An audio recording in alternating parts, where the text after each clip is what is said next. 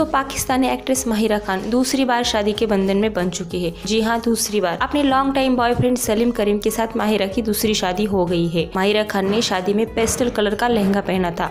और सर पे दुपट्टा उड़ा था उस दुपट्टे ने सबका ध्यान अपने और खींच लिया माहिरा के शादी का स्टेज बेहद ही खूबसूरत था माहिरा जब स्टेज पर आई तब दूल्हा यानी कि सलीम माहिरा को देखकर बहुत इमोशनल हुआ उसकी आंखों में आंसू तक आए फिर वे दोनों एक दूसरे के गले लगे और शादी में आए हुए अतिथियों ने तालियां बजाई ऐसे बड़े खुशी से माहिरा की शादी का समारोह हुआ